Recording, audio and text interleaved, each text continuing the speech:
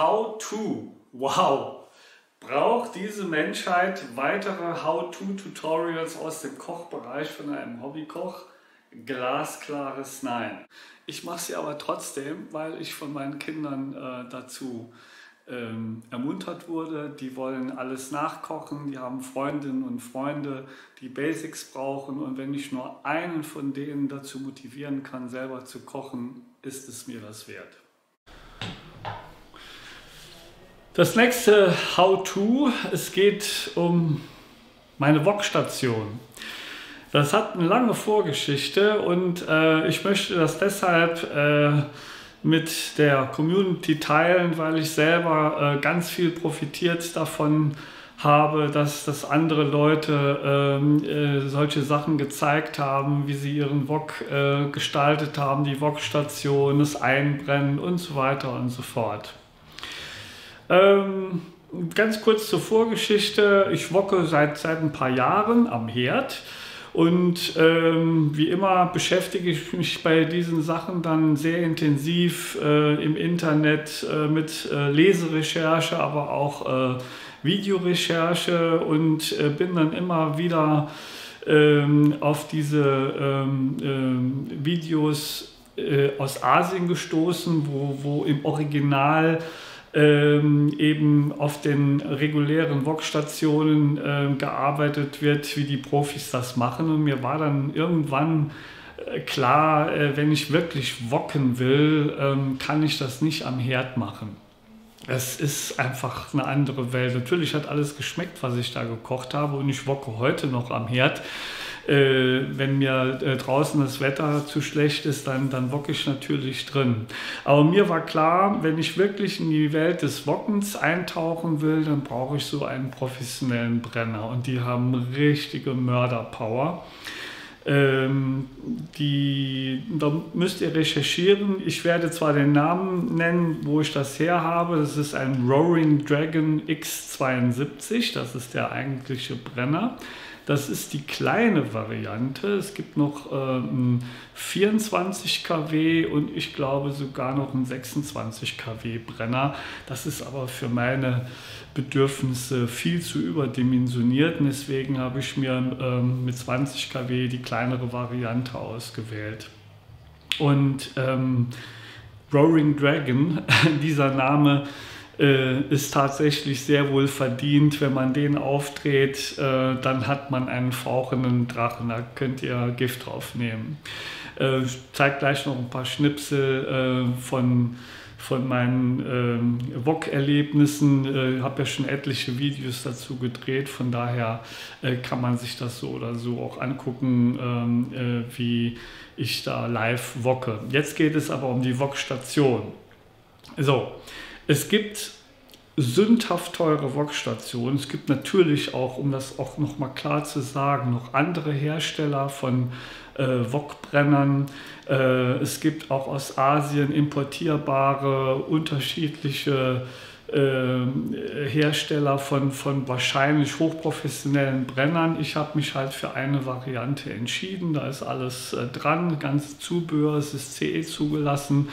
Also von daher ähm, habe ich nach wirklich langer Recherche mich ganz klar dafür entschieden, aber es muss jeder äh, selber recherchieren und für sich eine Entscheidung treffen, da ich bei weitem äh, nicht alle Möglichkeiten ausgeschöpft habe oder alles selber ausprobiert habe, äh, maße ich mir nicht an zu sagen, das ist der Brenner, den ihr kaufen müsst. Das gleiche gilt auch für, die, für, für den Rollwagen, den ich da genommen habe. Worauf ich hinaus will, ist, es gibt ähm, ein paar äh, Hersteller von Brennern, die auch gleich eine richtige Wokstation dazu bauen. Ähm, ich muss aber gestehen, das geht bis in die mehrere tausend Euro. Äh, wird dann so edles Holz oder natürlich auch viel Edelstahl dran und so weiter wenn ich ganz ehrlich bin, das ist mir echt zu viel. Ähm, das, ich bin nicht bereit, so viel Geld dafür auszugeben äh, und ich brauche es auch nicht und es passt auch nicht zu meinem Stil, so was Etepetete-mäßiges zu haben. Es ist mir auch viel zu teuer. Auch wenn das wahrscheinlich ganz tolle Stationen sind und jeden Cent wert sind. Also ich will auf gar keinen Fall mich in irgendeiner Form negativ äh, dazu äußern. Es, ist, es steht für mich persönlich einfach nur in keinem Verhältnis äh, zu dem, was ich mit dem Wok machen will und äh, dann da für ein paar tausend Euro so eine Station dann zu kaufen. Ähm, bei dem äh, Hersteller oder Distributor, Händler, wo ich meinen Brenner gekauft habe, da gab es auch einen, einen Edelstahl-Rollwagen dazu. Der war aber nicht verfügbar und der hätte auch weit über 1000 Euro gekostet. Das hat mir schon kopfzerbrechend ähm, ähm, bereitet. Ich wäre was vermutlich aber bereit gewesen, diesen Preis zu zahlen. Es war aber nicht lieferbar. Also was habe ich gemacht? Ich habe so einen alten IKEA-Rollwagen gehabt aus Holz ähm, und der war nach drei, vier Monaten war der hinüber. Das ist halt nicht für Outdoor geeignet. Äh, übrigens sagt die ganze Zeit Outdoor. Warum Outdoor? Weil mit dem 20 kW Brenner kann man drinnen nicht wocken. Der ist entweder nur für Großküchen mit geeigneten Lüftungsanlagen äh, zugelassen äh, oder aber draußen. Das heißt, ich wocke ganz klar draußen. Meine Wokstation ist direkt neben, neben meinem Grill und von daher passt das alles. Und äh, draußen wird also gewockt und gegrillt. So, auf jeden Fall ähm, war dieses Holz-IKEA-Wägelchen äh, nach ein paar Monaten hinüber. Ähm, das war halt nicht geeignet für Outdoor. Also habe ich mir gedacht, was machst du jetzt? Kaufst jetzt doch so ein teures Ding oder äh, selber basteln geht bei mir nicht. Ich bin alles andere als ein guter Handwerker. Äh, und so habe ich mich ein bisschen umgeschaut, habe auch nochmal in dem schwedischen Kaufhaus nachgeguckt und siehe da, ich habe den perfekten Rollwagen für meine Bedürfnisse gefunden. Ähm, ihr werdet das sehr schnell selber finden äh, im IKEA-Sortiment. Äh, von daher muss ich hier gar nicht näher darauf eingehen. Der Punkt ist der, das ist komplett aus Edelstahl. Es hat sehr robuste, sehr große Rollen. Das heißt, ich kann es hin und her schieben und äh, es ist nicht wackelig und, und äh, äh, instabil in sich, weil das ist ein richtig robustes Teil.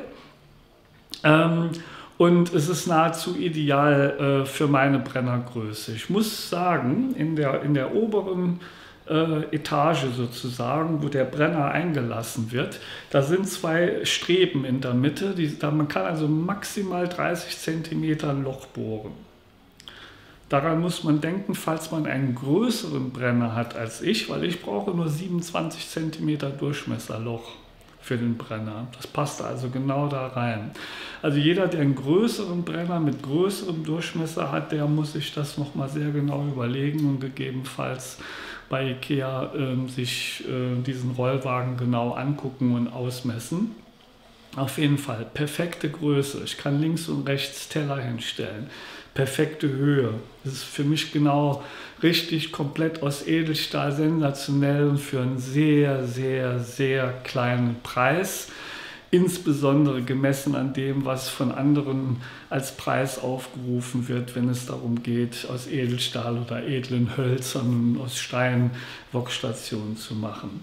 So, das äh, genug der Vorrede. Ich zeige euch jetzt mal so ein bisschen, wie ich das gemacht habe. Also nicht den handwerklichen Vorgang, sondern wie ich mir den Wagen zurechtgeschnitzt habe, damit das eine Wokstation ist und dann könnt ihr das gegebenenfalls auch so machen. Und die meisten von euch werden handwerklich äh, wesentlich geschickter sein als ich und das vielleicht noch schöner, noch besser äh, machen und vielleicht noch ein paar Sachen äh, an, an diesen Wagen dran flanschen, dran schweißen, dran schrauben, um dann noch mehr rauszuholen. Also äh, viel Spaß und ähm, gegebenenfalls auch viel Spaß beim äh, nachbauen sozusagen äh, mit eurer neuen Bockstation. So, hier sehen wir die Wokstation äh, mit der Abdeckhaube. Ähm, die habe ich mir so dazu gekauft. Äh, es gibt ja einschlägige ähm, Hersteller äh, überall äh, abrufbar ähm, mit verschiedenen Maßen und äh, wenn man weiß, wie die Abmaße der, äh, dieses äh, Rollwagens ist, dann kann man auch relativ präzise herausfinden, welche Abdeckung dafür passend ist. So, hier sieht man äh, ein bisschen, wie ich das gemacht habe. Das ist die Station. Ähm, zwei Löcher musste ich äh, mit einer Stichsäge reinbohren und hier, ähm, ich wollte nicht, dass das äh, auf dem Edelstahl aufliegt, weil dieses gusseiserne Brenner, dieser Brennertopf, der wird sehr, sehr heiß. Ähm, und ähm, da ich hier kein Silikon oder dergleichen ähm, verarbeiten wollte oder diese, diese Ofendichtmassen ähm, äh, und Stoffe und so weiter, das wollte ich, das fühlte sich für mich irgendwie, irgendwie nicht richtig an, das da äh, zu machen. Äh, also habe ich so kleine Steinchen genommen. Und das funktioniert ganz hervorragend. Das Gusseisen ist komplett äh, entkoppelt äh, von, dem, von dem Edelstahltisch und äh, da wird überhaupt nichts heiß. Äh, also ich kann das jederzeit anfassen während des äh, Wockens, kann da äh, alles drauflegen, was ich will. Da passiert überhaupt nichts. Das funktioniert ganz hervorragend. Und der Topf ist auch nur eingelassen. Ne? Also ich habe ein 27 cm Durchmesserloch ähm, gemacht das ist genau also ein paar Millimeter größer, als es sein muss. Ähm, es ist also frei beweglich, aber der Topf ist so schwer, ähm, dass selbst wenn ich den Wagen hin und her bewege, da, äh, da passiert überhaupt nichts. Das funktioniert also ganz hervorragend. Wer will, kann die Steinchen vielleicht mit einem Tropfen äh, Silikon fixieren, aber ich habe das nicht gemacht. Das ist alles frei beweglich und funktioniert ganz hervorragend. Ne? Ähm, wie das mit dem Loch aussägen geht, ich glaube, den Handwerkern unter euch brauche ich das nicht zu erzählen. Muss natürlich einen Edelstahlbohrer haben und erstmal ein Loch zu bohren an der richtigen Stelle. Und dann brauche ich äh, nicht nur eine Stichsäge, sondern natürlich auch ein entsprechendes Sägeblatt, was für Edelstahlbleche geeignet ist. Und dann den Rest werdet ihr mit Sicherheit deutlich besser hinkriegen als ich. So, hier kann man schön sehen, ähm, wie viel Platz noch links und rechts nebendran ist, äh, weil ich habe den Brenner genau mittig gemacht und hier, Achtung, da sieht man die zwei Schienen in der Mitte. Genau dazwischen muss, äh, muss der, das Loch ge gebohrt werden. Das sind äh, ca. 30 Zentimeter, wie gesagt, mein Brenner äh, brauchte nur 27, es war also die perfekte Lösung. Äh, und äh, hier unten auf der zweiten Ebene ähm, musste ich äh, noch ein Loch bohren. Das habe ich jetzt genauso groß gemacht wie das andere, obwohl das, wie man sieht, gar nicht notwendig war.